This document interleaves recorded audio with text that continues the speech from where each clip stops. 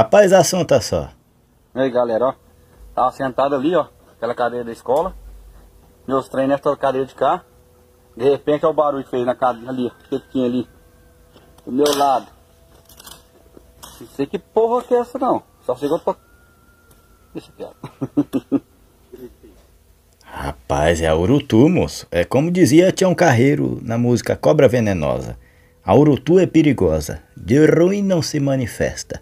É cobra tão venenosa que traz uma cruz na testa, né? A bicha é perigosa demais, Deus o livre. Essa é a, é a verdadeira mesmo, né? Quando não aleja, mata. Deus o livre. Imagina se ele levanta, porque você vê que tá escuro, moço, um ambiente escuro. Se ele levanta e bate o pé ali perto dela. Moça, ela sapeca o dente nele, cara. E tem que correr ligeirinho pelas pressas mesmo. Eu não sei se é. Onde é que é isso aí? Se é uma região rural, não sei. Mas, cara, se não correr ligeiro, o caboclo periga feio, hein? Graças a Deus que avistou ela ali. E provavelmente, com toda certeza absoluta, né?